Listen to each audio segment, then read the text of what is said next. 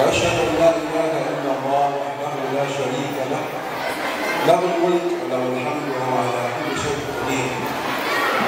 رفع السماء بلا عمل وبسط الأرض على ماء الجمع وسخر لنا الشمس والقمر وقدر ورزق الجميع في القرآن فجعل منه زوجين الذكر والأنثى. أليس ذلك بقادر على أن يحيي الموتى؟ بلى هو القادر على كل شيء وأشهد أن محمدا عبده ورسوله وصفيه فضله وحبيبه بلغ الرسالة وأدى الأمانة ونصح الأمة وكشف الله به الأمة. اللهم صل وسلم وبارك على سيدنا محمد صلى الله عليه وسلم.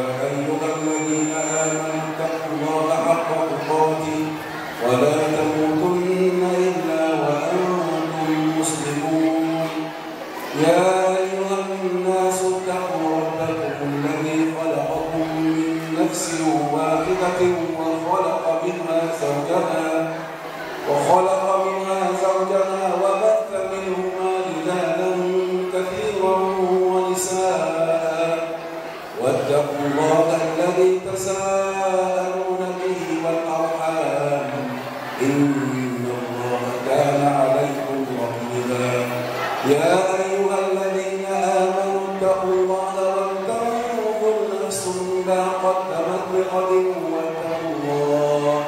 إن الله خبير بما تعملون.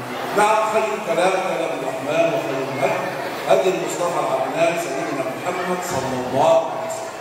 أما بعد فيا محمود أولا أبقى إليكم تحية من مصر إلى أهل النوبة وخصوصا قرى النوبة وثانيا أتقدم بالشكر كما أدبنا وكما علمنا النبي صلى الله عليه وسلم قال لا يشكر الله من لا يشكر الناس. أتقدم أولا الشكر إلى الأمهات الآباء والأمهات. قد بذلوا مجهودا كبيرا لبناء الطفل. كما يقولون ارفع رأسك فوق أنت مسلم. فالقرآن مفتاح الباب السعيد. القرآن حبل النجاة الوحيد لا تتركوه أو تغفروه ينساكم ربي إذا أنتم نسيتم. شكر طيب للآباء والأمهات. وسبب الشكر الثاني للإدارة والإدارات. وكل مسؤول في في قرى النور على هذا الحفل الجميل الطيب. شرح الصدور واطمأن إليه القلب نعم فضل القرآن كثير. أبدأ بفضل الله تعالى بالأمر الإلهي. إن هذا القرآن يهدي للجد أقوم. سبحان الله. هذا القرآن يوضح لنا الله عز وجل يوضح لنا أمرا ألا تتعاملوا مع الناس إلا بالقرآن. في كل شتى المجالات فأمرنا الله تبارك وتعالى أن نعي ونفهم القرآن. وكما قلنا قراءة القرآن وحفظ القرآن والعمل بالقرآن عنصر أساسي في حياة المسلم. وأخص في القرآن العظيم هذه الآية لا ننساها أبدا. عندما تعلم الولد القرآن فلا بد أن يعي تماما هذه الآية اسمع هذه الآية وصدع حبيبي وقضى ربك ألا تعبدوا إلا إياه وبالوالدين إحسانا. إما يبلغن عندك الكبر أحدهما أو كلاهما فلا تقل لهما أف ولا تنهرهما وقل لهما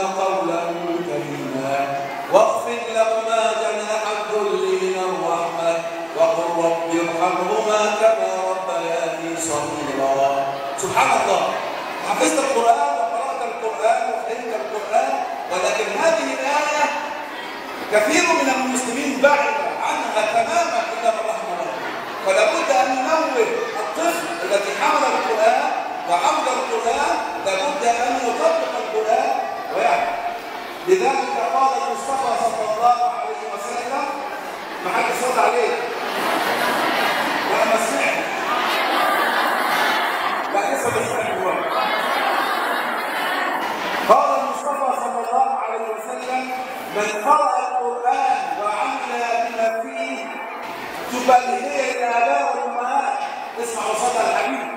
من قرأ القرآن وعمل بما فيه ألبس الله والديه تاجا يوم القيامة. ضوء أحسن من ضوء الشمس في بيوت الدنيا. فما ظنكم بمن عمل بما فيه. اللهم اجعلنا منه. يعني أبشري أيها الأخت وأبشر.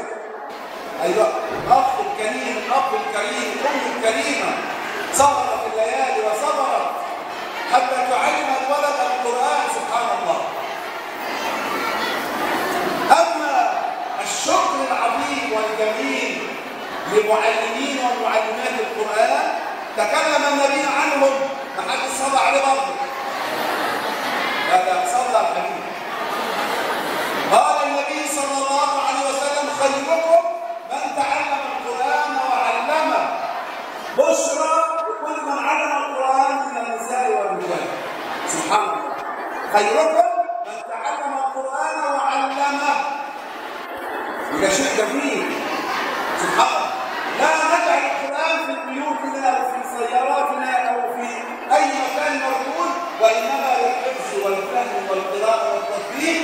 أي العمل به. وبشرى أيضا لمن حمل القرآن قال المصطفى حد صلى عليه لما سمعت قال المصطفى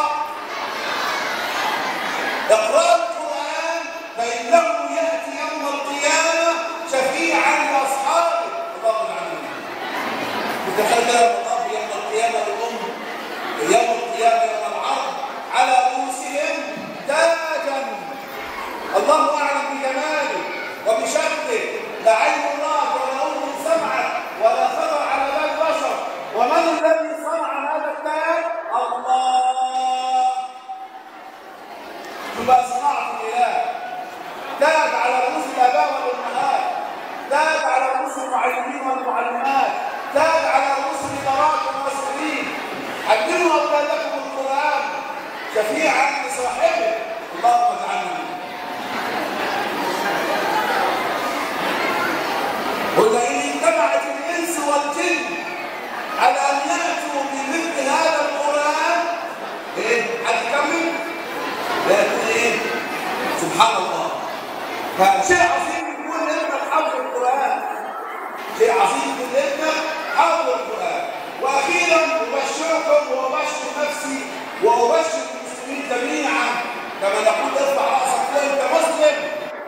موحد.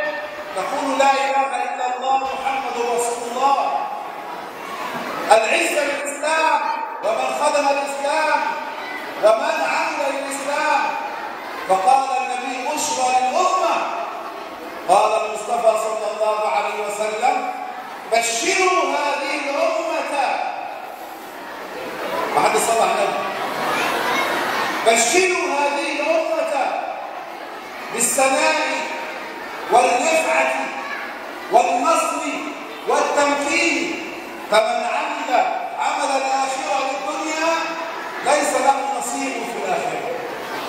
أيها الأخ الكريم هذا الأخت الكريمة لا مطمئن لا مطمئن لأن ولد من أولادك يحمل القرآن ويقرأ القرآن. فاقرأوا القرآن ولا بد أن يكون القرآن في صدورنا. سبحان الله جاء رجل يشتكي فقال له النبي صلى الله عليه وسلم ما من بيت قرأت فيه سورة البقرة إلا وطرد الشيطان فمرحبا بأهل القرآن. مرحبا بمحبين القرآن. مرحبا بالإدارات العظيمة. شرفنا وتعلمنا منها. فسبحان الله. احفظوا القرآن. وكل القرآن وأقول لي أولا وأنتم ثانيا. والله تعالى أعلى وأعلم. اللهم اهدنا فيمن هديت. واصرف عنا شر ما قضيت.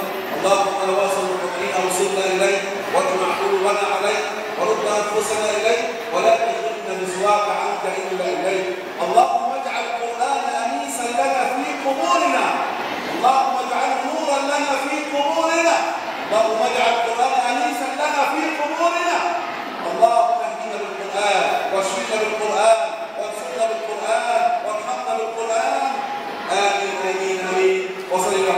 سيدنا محمد وجزاكم الله خيرا والسلام عليكم ورحمة الله وبركاته. محدش السلام السلام عليكم.